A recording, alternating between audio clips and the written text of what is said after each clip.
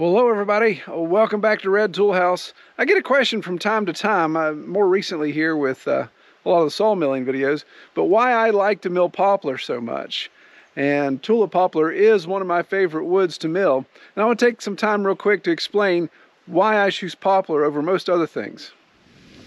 Well, one of the most obvious reasons why I choose poplar is its abundance. So here on 100 acres in uh, central West Virginia, Appalachian hardwoods, um, this property back in the 1960s, so it was cleared off and was pastured with cattle, I believe. So after the land became abandoned and the forest tried to reclaim, then of course poplar, yellow poplar really took off quite well. So we have it all over the place. And it's kind of neat. You can actually see where the places were that were cleared at one time and other places that are older growth forests because the poplar's not nearly as abundant. Here behind me is primarily all poplar. Now there's different species mixed in there, but the majority of it is poplar. Now when I say poplar, I mean tulip poplar or yellow poplar, which I, I believe is not actually a true poplar, but it's like this tree right here, the straight one. That's what we're talking about. Another reason I like to choose poplar to mill is they are really straight when they grow. They, uh, they grow fast, and unless they're encumbered, you know, unless they've experienced some trauma at an early age, they'll grow almost like phone poles. And since they grow fast in deforested areas, they can usually beat out the competition. So they grow straight, they grow fast, and pretty true. And that makes them ideal candidates for the sawmill because I can get multiple logs out of one tree. Whereas if I was doing you know, a big oak or something, most likely I'm going to have a large branch after that first or second log. So here's a good example of straightness. This poplar log that I skidded down here, uh, mm, it's probably been a month ago. This log, what's left is about 30 feet, but I've already cut an eight foot log off the end and milled it. So it was almost 40 feet and almost phone pole straight. There was a tiny little crick, just a tiny little bend at the very top where I cut off that eight foot log to mill. So these things are all over the place and it's like phone poles growing in the woods. So I put this poplar log on here. I cut it off the one we were just showing. So this is the butt log. I cut about 11 feet, a little bit long. I need, I need 10 foot material. So I cut about 11. I've got my wedge, uh, my bird's mouth notch on one end. So obviously you want to take that out of my finished length. But milling up some dimensional lumber, we want true 2 by 8s out of this that's for a project that's two projects away. So get it milled, get it air drying, and that way when it's time to work on the project, then I'm ahead of the game with dry wood. Before I move forward, a lot of new people to the channel. Really appreciate you guys subscribing and coming along for the ride. But just for future reference, I had a lot of comments in the last video ask if those were bears in the background when we had snow on the ground. Uh, no, those are actually pigs. They act like bears from time to time. In fact, Mongo was there scratching himself against the tree. But uh, they are pigs, not bears. So, but thank you for your, your concerns for my safety, some of you guys that cried out that there were bears behind me. So another reason why I like to mill poplar is if it's clean, it's very, very easy to mill. So if I haven't drug it through the mud and got a bunch of rocks and things in the deep furrows of the bark, then it's very, very easy to mill. It feels like I'm actually milling pine, but this is technically a hardwood. But uh, blades go through it fine. If Again, if I keep a clean log, I can get four or five, maybe even six logs out of it without a debarker, without doing anything like that on the front end, just zipping through. It's quite a difference when you've got uh, a red oak or a white oak or a hickory on here versus putting poplar on. You definitely know what you're cutting. I could tell with my eyes closed what was on the mill compared to those two. So really easy to mill.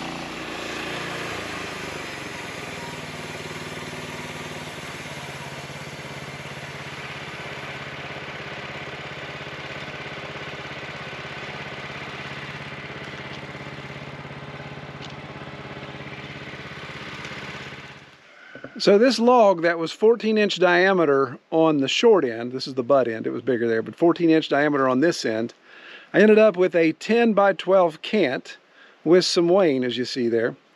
So we're going to just keep whittling it down a little bit to take a, another cut here, turn, be able to get my, uh, maximize my 2 by 8s my true 2 by 8s But that's one thing you don't see with poplar. You don't see uh, commercial industries using poplar for dimensional, and that's a whole nother story. That's a whole nother can of worms. We'll, we may address that at some point.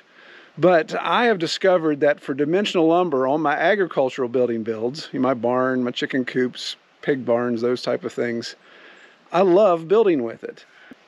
It actually stays pretty true. It doesn't warp like crazy like a pine or any of that other super quick growth softwood. It's easy to manipulate. You can work it well with uh, hand tools and those things. And then if you keep it dry, keep it from being in ground contact and keep it from being constantly wet, it'll last forever. There's barns all over West Virginia that are made from wide plank poplar, and they're still in great shape. The uh, the sides, the board and batten sides of the barn are, are all, all poplar. Half of the uh, farrowing barn up here, the siding is all poplar. It'll last a long time if you keep it dry. Well, along those same lines, another reason why I like milling poplar is it does dry very quickly compared to other hardwoods. So when I stack up my poplar for future projects, even though I'm outside, I really don't have a cover over it, it's just out here in the elements, within a couple months, you can definitely feel the moisture content, how much it's dropped. In fact, the um, video earlier this week, or maybe it was last week, can't keep track of all these, where we were starting on our uh, mobile chicken coop. It's way down there. You can see the frame structure. I milled those boards just a couple months ago, and they're one and a quarter by threes. And those things were already really, really dry. In fact, they had they had shrunk about an eighth of an inch in thickness, and they had shrunk almost a quarter of an inch in width already. So that's how much moisture had escaped, and that cell structure had contracted and hardened, and it's pretty stable wood. I'll actually be planing some of it here in the next couple weeks as we work on this project. So I'm going to see how it goes through the planer and put my wood shop moisture meter on and just see how it shakes out. So stick around for that one.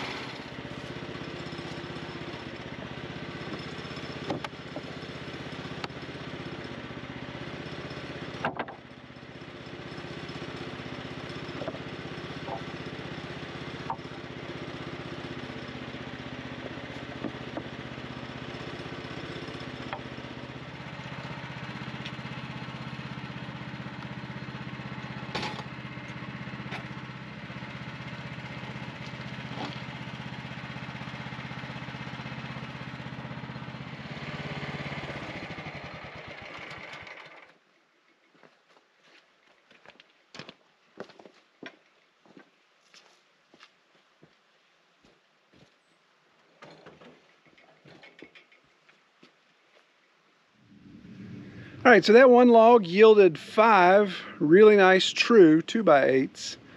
And then that top one, a lot of weight on it, he's not gonna count.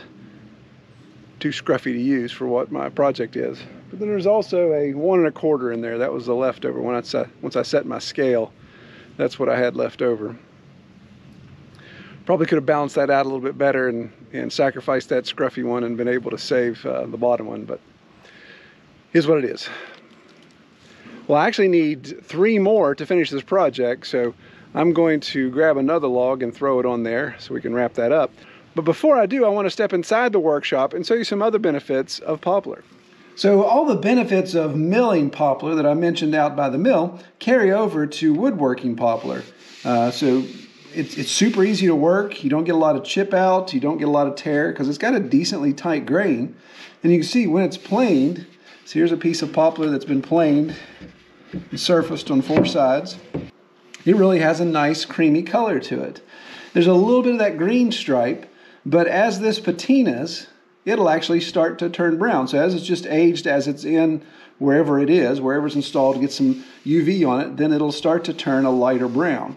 So the thing I like about it is it takes stain really well. So I had to wipe this trim down because it was covered in dust. But here's a piece of poplar trim that's stained one color. This actually matches the, uh, we made this to match the uh, baseboard and casing in our guest bedroom.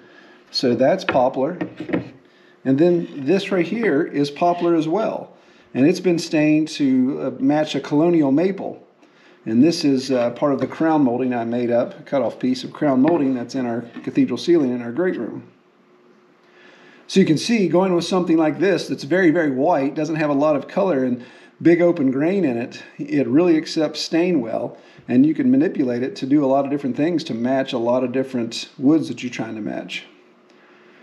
So, you know, if we were going to try to go with a dark, a dark walnut or try to match pine, that's actually what this is, is to make it look like a colonial maple so it blends well with the pine tongue and groove we have in the ceiling. So the $10,000 question, of course, is if I didn't have all this poplar standing on my property, would I be that excited about it? Well, I obviously wouldn't go seeking it out. I wouldn't be buying logs when I have um, a bunch of other things standing. So I wouldn't necessarily try to make it that big of a priority. But since I've got it, take advantage of the resource that I have. There's tons of it back there. It'll take me five lifetimes to try to mill enough to even make a dent. It's growing back faster than I can cut it. So I'm going to use it and take full advantage of all the benefits it offers.